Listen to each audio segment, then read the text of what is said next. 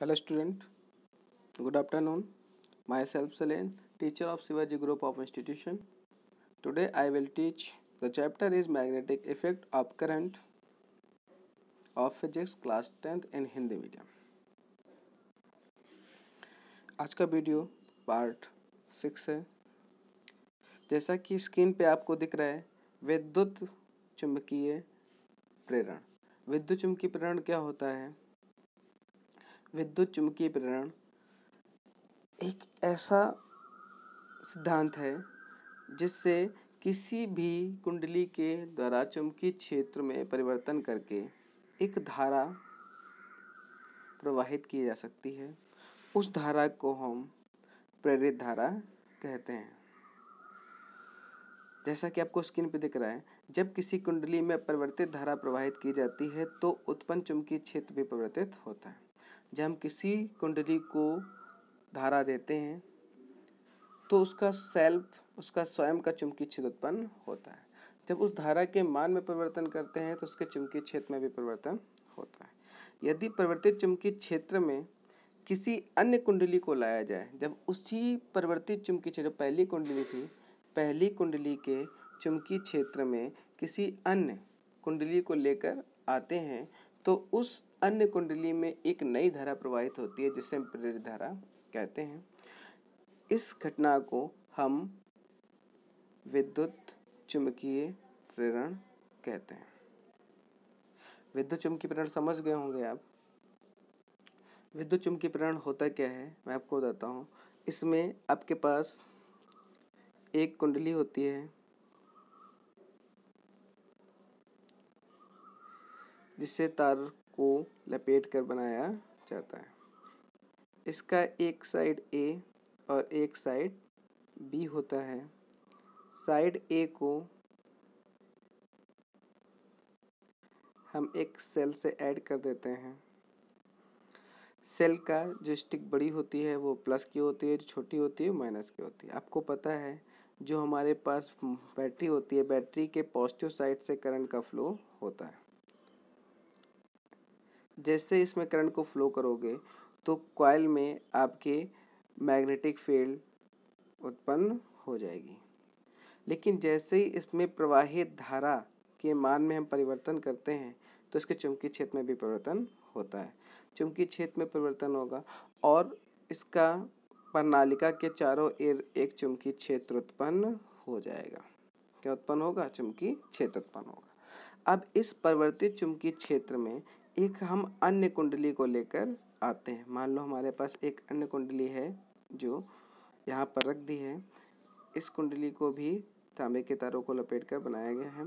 इस कुंडली को हम जैसे रखते हैं और इसको वायर के द्वारा हम गैल्वनोमीटर से जोड़ते हैं। किससे जोड़ते हैं? गैल्वनोमीटर से। जैसा कि मैंने आपको लास्ट ऑडियो में बताया था, गैल्वनोमीटर क्या होता है?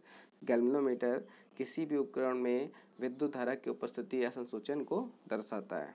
क्लियर तो जैसे ही हमने पहली कुंडली आपको दिख रही है, पहली कुंडली को हम नाम देते हैं एक्स और दूसरी कुंडली को नाम देते हैं वाई पहली कुंडली एक्स में जब हम बैटरी से जोड़ते हैं तो इसमें करंट फ्लो होता है, जिससे मैग्नेटिक फ़ील्ड उत्पन्न होती है। तो हमने हमने एक्स कुंडली के चारों तरफ़ मैग्नेटिक फ़ील्ड को डायग्राम के द्वारा शो किया है, उसको मैंने अंडरलाइनिंग भी कर दिया है। ये इसकी मैग्नेटिक फ़ील्ड हो गई। क्या हो गई? Magnetic field.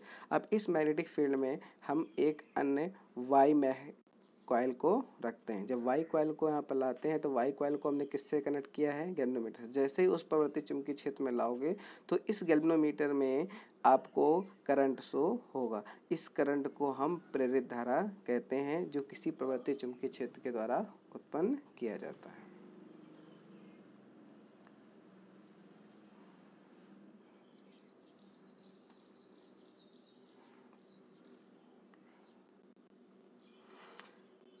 अब आपके पास टॉपिक है, प्रत्यावर्ती धारा और दिष्ट धारा। प्रत्यावर्ती धारा क्या होती है और दिष्ट धारा क्या होती है? जैसा कि मैं आपको पहले भी बता चुका हूँ इसके बारे में और आज रिवीजन में भी बताऊँगा कि प्रत्यावर्ती धारा क्या होती है।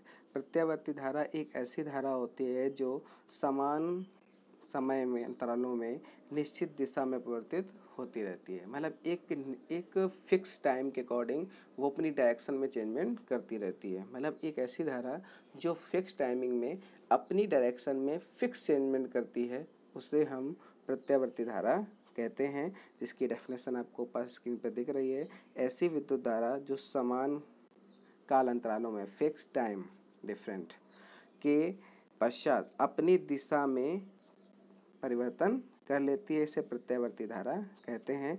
इसके डायग्राम को भी शो किया जा सकता है। आपको बताता हूँ, इसके डायग्राम क्या होता है? ये, समान समय में, समान कला में परिवर्तन करती है। इस धारा को हम प्रत्यावर्ती धारा कहते हैं। इसे अल्टरनेटिव करंट कहा जाता है। इसे शॉर्ट फॉर्म में हम एसी धारा भी कहते हैं। इसे हम एसी धारा भी कहते हैं, जैसा कि आप स्क्रीन पर देख रहे हैं, प्रत्यावर्ती धारा क्या होती है?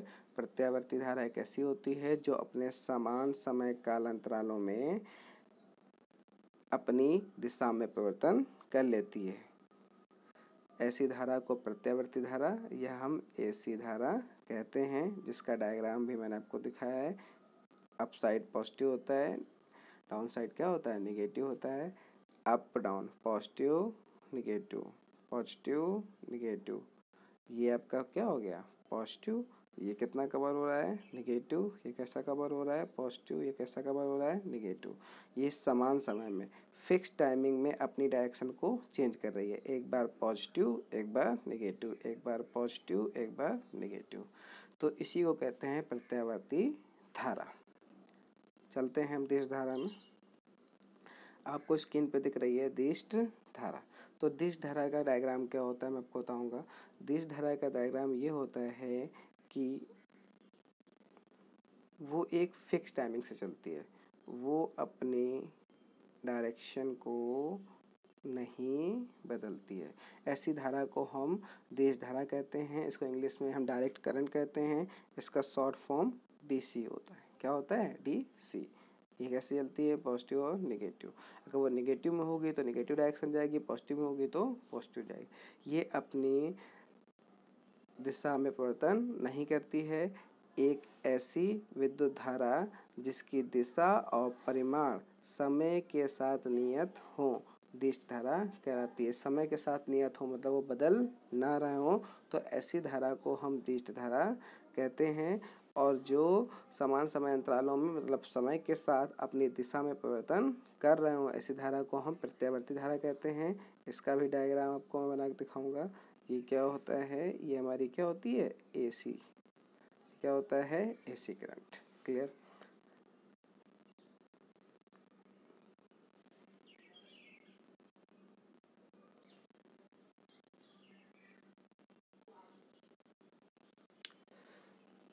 next topic है घरेलू विद्युत परिपथ। जैसा कि हमने लास्ट ऑडियो में कुछ क्वेश्चन दिए थे घर के घरेलू परिपथ से, मैं आपको बताऊँगा। हमारे जो घरेलू परिपथ है, परिपथ समझते हो? जो करंट फ्लो के लिए हम वायर का अरेंजमेंट करते हैं, उस पथ को हम विद्युत परिपथ कहते हैं मतलब करंट के फ्लो होने का पथ। अब हमारे घरों में जो विद्युत आपूर्ति दो तारों से आती है, कैसे आती है? दो तारों से। डबल फेस के लिए हम तीन भी लेते हैं, लेकिन नॉर्मली, जनरली जो होता है, नॉर्मली वो दो वायरों से आता है।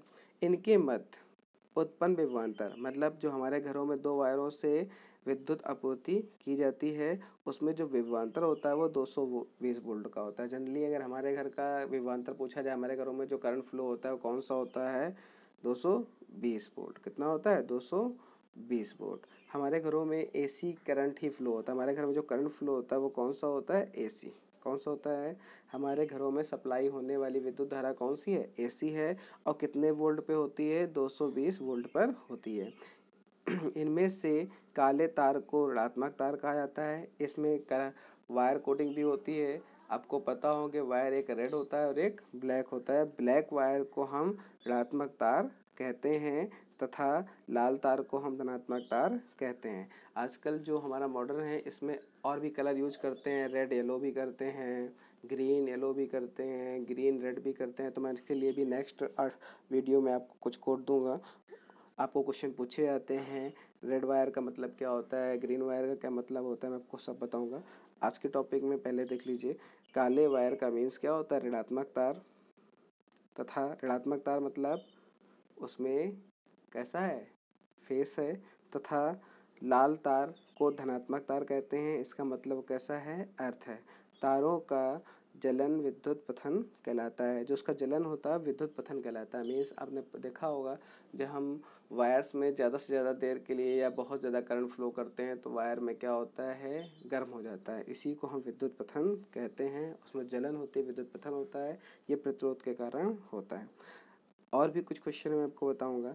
जैसा कि मैं बताता हूँ कि जो हमारे घर में सप्लाई होती है करंट उसकी आवृत्ति कितनी होती है? तो मैं आपको बताऊँगा उसकी आवृत्ति फिफ्टी हर्ट्स होती है। कितनी होती है? फिफ्टी हर्ट्स हमारे घरों में जो करंट फ्लो होता है, उसकी आवृत्ति कितनी होती है? फिफ्टी हर्ट्स आवर्तकाल कितना होता है? ज़ीरो पॉइंट टू कितना होता है? ज़ीरो पॉइंट टू सेकेंड हमारे घरों में जो करंट फ्लो होता है, वो कौन सा होता है? एसी में कई क्वेश्चन कर रहा हूँ रिपीट कर रहा हूँ। हमारे घरों में करंट जो फ्लो होता है, वो कौन सा होता है? एसी या डीसी एसी होता है, उसकी वोल्टता कितनी होती है? 220 कितने वायर से होते हैं? दो वायर से, एक ब्लैक और रेड ब्लैक वायर ऋणात्मक तार होता है और रेड वायर आपका धनात्मक तार होता है। और तारों में जो जलन होती है, उसे हम क्या कहते हैं? विद्युत का पथन कहते हैं जिससे हम प्रतिरोध भी कह सकते हैं। इसकी आवृत्ति क्या होती है? जो हमारे करंट फ्लो हो रहा है, वो किस आवृत्ति का करंट फ्लो होता है? फिफ्टी हर्ट्स का। कैसा होता है? फिफ्टी हर्ट्स का। और जो फिफ्टी हर्ट्स का होता है, और जो करंट फ्लो हो रहा है, उसका आवर्तकाल क्या होता है? आवर्तकाल आपका होता है दो सेकेंड। क्या होता है? दो सेकेंड। मैं आपको बताऊँगा, आवृत्ति क्या होती है? आपको पता है, एक वेव की तरह करंट का फ्लो होता है।